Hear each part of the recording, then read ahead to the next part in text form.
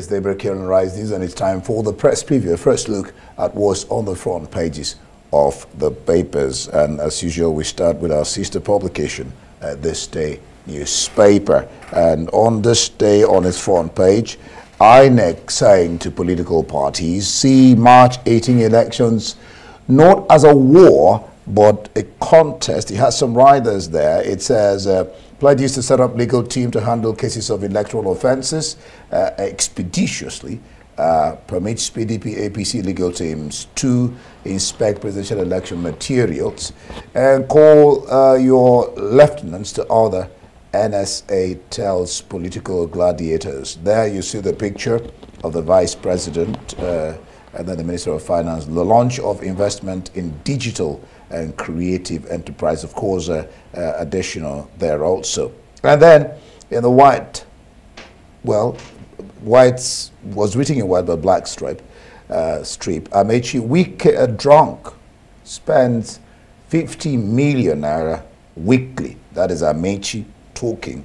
And then, of course, you have those pictures there of the governorship candidates in Delta State. Uh, Ken talked about that earlier. Debate on Arise News uh, channel today. Five leading contestants for the uh, seat of governor of Delta State would today look, lock horns in a debate being organized by Arise News channel at 7 p.m.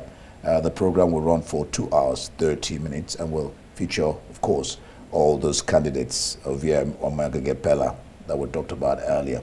And then look at the, the, the top, uh, the just above the nameplate of this day. Banks begin dispensing old 500 naira, 1,000 notes via ATMs over the counter. That will be it for this day. The Punch newspaper is leading with the money. Naira crisis, banks ration old notes. The Labour Congress insists on seven-day ultimatum. Review 1,000 Naira NIN fee. Council tells NIMC. Oyo SDP candidate withdraws, backs Makinde. INEC will prosecute electoral offenders with speed. All right, let's look at the Daily Sun. Guber National Assembly polls. NSA gives military security agencies marching orders. I had some two riders there. Orders them to crush. Oh, well, that's, that sounds like a military term. It says crush electoral offenders. Army uh, chief urges soldiers to be professional and above board. You look at uh, just that uh, story beside the song title. It says, Ohanaeze, election Ohanaeze asked federal government to address threat to Igbo in Lagos, Rivers, and others. And then, okay, presidential election, PDP, Atiku, returned to tribunal with fresh application.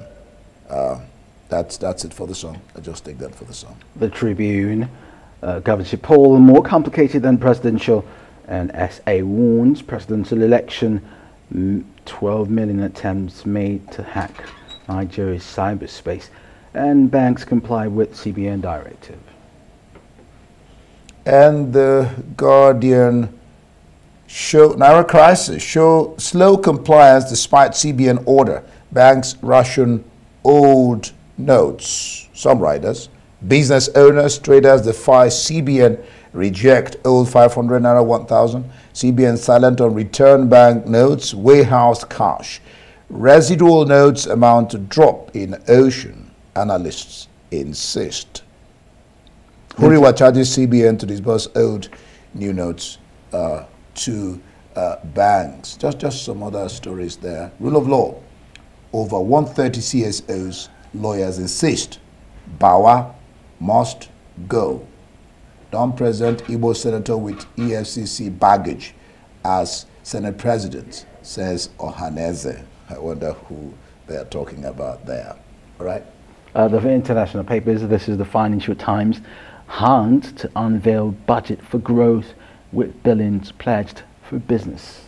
All right, uh, Independent, Independent newspaper. Uh, the row between BBC and Gary Lineker is still on. Now, Gary Lineker taunts the BBC. Star changes Twitter profile picture to image of him in front of free speech wall at TV headquarters. Uh, that's that's Lineker and Lineker at BBC. The I free childcare boost in budget with 30 hours a week extra for toddlers. And then just the Guardian newspaper before we bring in uh, Emmanuel Bello. Hunts 4 billion pounds childcare bid to get parents back to work. BBC pressured by number 10 over pandemic reports. And Russian jet collides with US drone over Black Sea. We talked about that earlier. And then we bring in Emmanuel Bello. Emmanuel Bello glad to join, have you join us this morning. Uh, mm, yeah. All right, let's look at some stories uh, on this day newspaper. Of course, the debate there uh, between the governorship candidates in Delta State, and then you have INEC warning political parties take this as a contest, not a war. And the NSC also giving a warning uh, on that front page. And of course, the story of Wike, uh, former governor of uh, River State, uh, alleging that Wike's, uh, Wike a drunk, he spends 50 million naira weekly on alcohol. I don't know what you make of these stories, Emmanuel. How is that even possible? we were discussing it well, in the yeah. and uh, uh, someone quipped that, well, there could be, uh, what, uh, uh, Kenneth, you say there are 40-year-old whiskies that Yeah, I mean, they're, they're, and, uh, they're, that expensive. So maybe he's No, but not 50 million expensive. old ones. uh, those really expensive ones and well, I think as, the, as, the, weeks go by. Uh, the aspect of the story that I find interesting is that uh, it's, it's, coming from Amaechi, uh, and it's uh, because he's, uh, you know actually rooting for his candidate, Tonye Cole.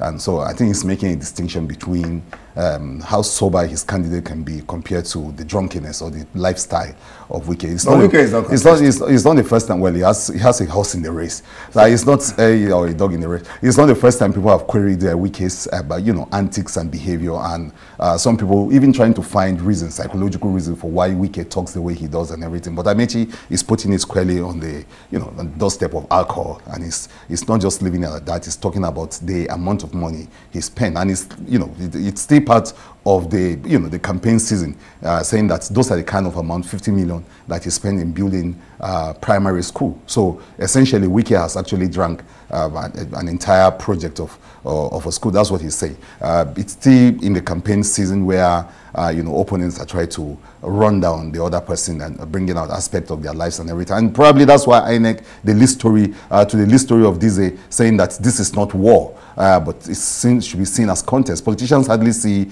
elections as uh, just what it is, uh, a contest for uh, the people's mind and for, for votes. but they, they sometimes try to go overboard. And the NSA is already saying why this uh, election is more complicated than the last election last week. But if anything, I think Nigerians are really ready to vote for candidates of their choice. And it is the INEC itself that Nigeria wants to be talking to that, look, we have to just get it right this time. Um, of course, INEC is here uh, talking to the people and saying, look, we want, um, you know, a, a rancor-free election. But I can assure you, uh, indeed, that a lot of Nigerians are also worried about INEC, what INEC is doing, how prepared INEC is, the transparency of the umpire, the fact that um, uh, they watch the system in such a way that people are not rigged out or the wheels of the people are so those are the sort of things that worry the minds of people. Not, I don't see Nigerians really ready to go and snatch, you know, the ballot boxes or even cause confusion or try to fight. Uh, they seem to be more worried about how prepared, uh, you know, and how transparent uh, these BVAS will be and how transparent. So those are the sort of things that Nigerians want to be hearing from INEC, their state of preparedness, because compared to uh, what happened uh, weeks ago in the presidential election, more Nigerians are wary about whether their vote will count this time around. So yeah, I want to say that INEC is uh, should be telling uh, Nigerians a different thing. It's a good call too that yes, uh, this, this should not be war and that this is more complicated like the NSA is saying, but Nigerians are more worried about uh, the role of INEC, the fact that, look, if we cast our votes, will they, will they count? Will there be any form of rigging? Will there be any form of, you know, uh, interference from the umpire? That seems to be the biggest worry of, uh, you know, of, of Nigerians. The Guardian is reporting slow compliance despite the central bank's order and the banks are rationing the old notes. Um, I still do not have uh, Naira notes. Um, many customers are still uh, joining queues to get some. Um, what, what role will this cash play this Saturday, Emmanuel? And uh, should we expect some easing before the weekend? Well, we're getting some assurances that that will happen uh, with CBN saying it's going to, uh, you know, uh, put in more uh, more money. I was asking, earlier if, uh, because I've not seen those old notes myself, the 1,500, but uh, the, the, reports uh, we have is that people are now collecting them because um, in, in, the last few weeks, nobody was, they were still not legal tenders. But for now, uh, we learn people are receiving them. Yes, and Kenneth, you asked a very interesting question. What is the nexus? What's the relationship between these and the elections? Well, uh, politicians still need money to, you know, to pay for ads and to, to take care of logistics uh, around uh, this election. So this, um, well, this is like good news uh, because it's going to ease off the crisis of, uh, you know, those transfers that they have to make and then it's not making any headways, especially when they have to buy, uh, get, I mean, pay for services and the, especially in the areas of adverts, in the areas of, you know, just moving men and material to the place of, a, of election. So yes, there will be some kind of easing compared to you know the uh,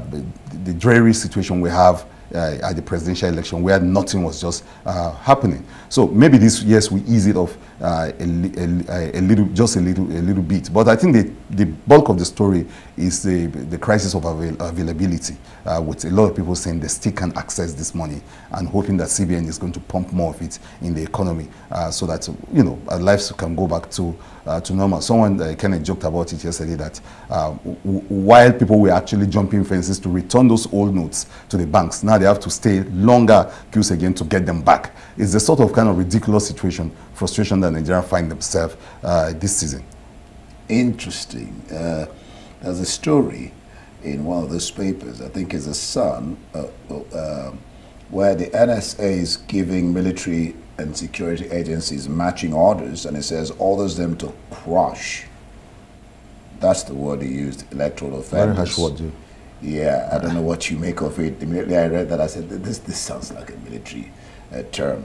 So I don't know what you make of it. An army chief urges soldiers to be professional above board. And then INEC says they will prosecute electoral offenders. Do they have that the power to do that? Yes, and they said they will do it expeditiously. That is, yeah. they will do it immediately. So if you are going to, if you are caught on election day uh, doing something funny, you get, you know, you get treated, you get the, uh, you get uh, judgment. Uh, charged judgment immediately. So you don't have to be. I don't know whether they will have to charge you to court or whether there's going to be some mobile court.